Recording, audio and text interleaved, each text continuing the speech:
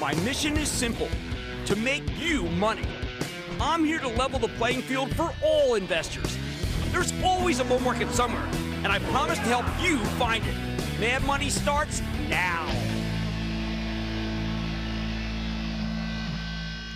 Hey, I'm Cramer. Welcome to Mad Money. Welcome to Cramerica. Other people to make friends. I'm just trying to make a little money. My job, not just entertain, educate, put days and weeks like this in context. So call me at 1 800 743 cbc or tweet me at Jim Cramer. The snap judgment fools, well, guess what? They lost again. All the major banks reported earnings this morning, and with the exception of Citigroup, they were initially pummeled. Sell, sell, sell, sell, sell. Sellers panicked out of Bank of America, out of JP Morgan, and they stampeded out of Wells Fargo. But once their conference calls got going, the stocks all roared higher, in some cases dramatically, especially Cramer fave Wells Fargo, contributing to the broader comeback in the averages, with the Dow ultimately gaining 113 points, S&P advancing 0.4%, and the Nasdaq, the home of all the stuff that was getting crushed, up another 0.71%. This rebound for the banks reminds us that earnings season is a time of incredible treachery. Looks like nobody listened to my jeremiads. I love that SAT word. Earlier this week eh, about not jumping the gun. Every quarter, I make the same argument about how you should wait and do more work before you pull the trigger. But a lot of people remain unconvinced, and I know why. Because they'd be stupid. Why did these highly important bank stocks turn around after being pummeled at the opening? I'll tell you why. Very simple. Things turned out to be better than expected, and much better than the, certainly that the bears were thinking. Like I've been saying for ages, the banks are making a ton of money thanks to the Fed rate hikes, even without any capital markets activity. And the loan losses aren't that bad. Once the conference calls happen, anyone who bothered to do even an ounce of a jigger, a jigger of homework, because I used to own a bar, realized that the consumer's alive and well, just slightly a little more cautious. Which is exactly what the Fed's aiming for.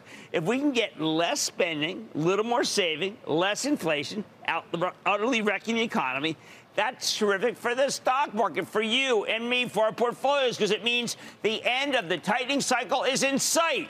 The bias, the ridiculous bias Sell, to sell, sell the bank stocks before hearing anything was dead wrong. As has been the case since 2023 got rolling.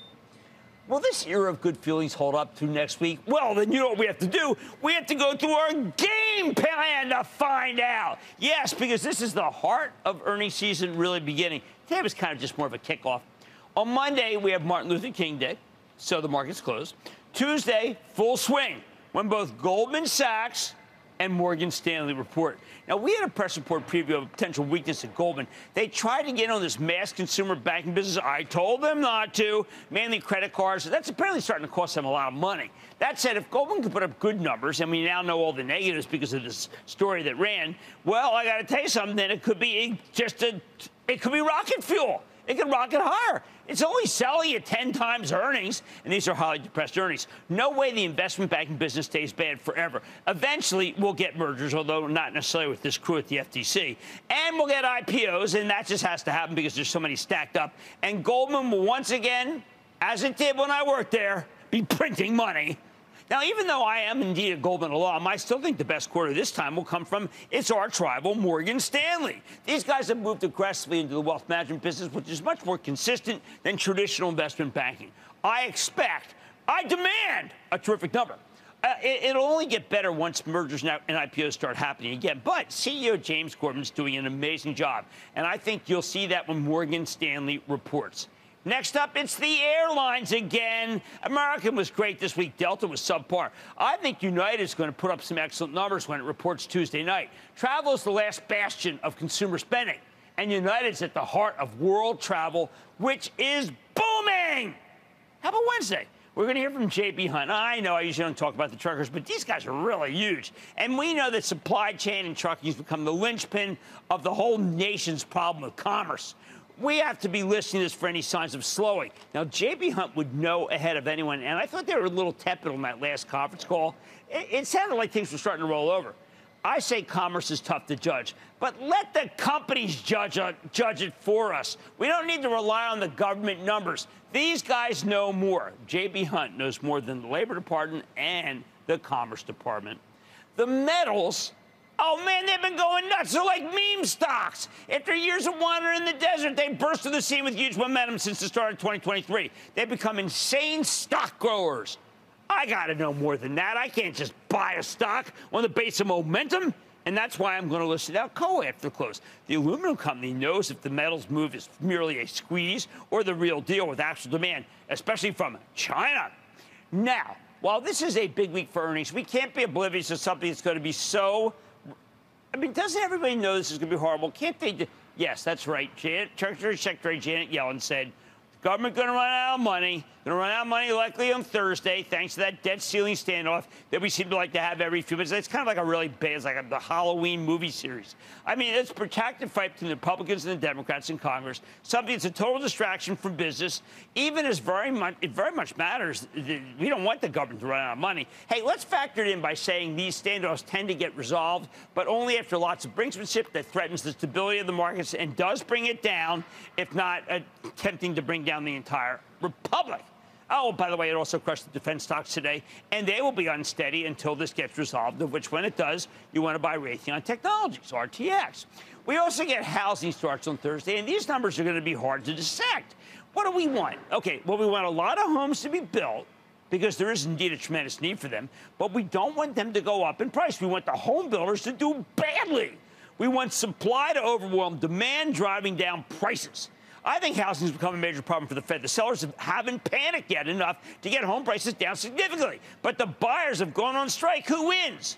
I think we'll know more when we get this number, but I got to tell you who usually wins the buyers and the sellers panic and break price. Now, I know Thursday's mostly about Washington, but I'd rather focus on a whole other city, Cincinnati, and not just because I think the Bengals are going to win this weekend, because this is the morning that Procter & Gamble, located in the great city of Cincinnati, reports, and I think it's going to be darn good. Procter was hurt by the insanely strong dollar last time, but now the dollar's insanely weaker. They were trying to push through insane price increases to keep up with the insane raw costs. Since then, the price increases have stuck but the raw costs have come down. Procter might be the perfect headwinds to tailwinds story. We own it from a charitable trust. I'm liking it. So we're going to be all over it for members of the investment club. Yes, at the morning meeting, and then, of course, around two ish, the home stretch. Remember FANG, that ridiculous acronym I coined a long time ago that's now irrelevant? Well, there's one of these companies that has officially broken out and has gone into Super Bowl mode, and that is Netflix. Now, which is starting to put up some amazing numbers. The secret? It's the slate. It always was about the movies, wasn't it? Or the series, more importantly. While Netflix got tons of new subscribers during the worst parts of the pandemic, they weren't able to produce new, much new content. Now things have gotten back to normal. Their programming has improved dramatically, and that's causing people to sign up all over the world. I think Netflix could be one of the strongest stories out there for entire, for all of, of 2023. You know why I'm a big believer in the oil move? If you agree with me, you'll be riveted by a conference call. These guys run a great conference call. And that's SLB. I know they changed the name. It used to be Schlumberger. Now it's SLB. Okay, it's the same company. Are This oil service team is so rigorous and honest that when things were bad, they told you. I mean, most people, when things are bad, they do like what Disney did, tell you about some movie they liked. Right now, though, these guys are doing incredibly well. SLB will tell us where the new fines are. They will play with an open hand. I bet you they give you a little up, uh, update on Russia, too. Prep yourself for next week. It's one of the two busiest weeks of earnings season, but it's not, well, you know, what? actually there's a third. There's three really big weeks, but this one really does start everything that makes it so that we're going to be up late at night studying these stories. Bottom line, we told club members the fantastic breadth of this market has us believing that things are a little better than we thought by this time. And the intraday losses, like we had with the banks that turned into buys, not sells, were darn good. But if we get too much speculation, which we'll talk about in a moment, that could hurt us. What a difference a year makes. Then again, last year was so bad that as we annualize those numbers, we'll have a reason to stay bullish and do some buying. Because if the banks are any indication, then negativity just doesn't jive with the reality. And that's a very positive scenario for the Bulls. Bye, bye, bye. Indeed. Let's go to Hunter. Hunter in Maryland. Hunter. Hey, Jim, I wanted to give a booyah to you from Mr. Marks's business class, and the stock I'm wondering about is Raytheon Technology Corp. Mr. Marks's business class is rocking. I'm going to give you booyah right back at you. All right. RTX got caught up in the overall, what I regard as being budget crisis. When meantime, they've got unbelievable aerospace. Greg Hayes is doing a great job, and I think it is a buy, buy, buy. And I'd buy it, but I would not buy it till Thursday when we get that budget budget ceiling, and then Mr. Marks's class should buy pool together, kind of like a lottery ticket, and buy a 100 shares. Okay, now we have to remember that last year was bad. Hey, hey, really hard. So as we annualize those numbers, we're going to have a little bit more reason to stay bullish, and we certainly had to like the action today. On Mad Money tonight, you called in and stumped me on Mativ, M-A-T-I-V. What a, what a name. So tonight I'm turning in my homework on the performance materials company that you've never heard of to see if it could have any material impact on your portfolio. Then the meme mania is back in Bed Bath & Beyond and Carvana. And after catching fire this year, could this be a red flag? Oh, who the heck knows? But I will tell you this, it is one dangerous game. And does your portfolio have what it takes to handle whatever the market throws at it? Tonight we're playing Am I Diversified. See if your top holdings can pass the test. So stay with Cramer.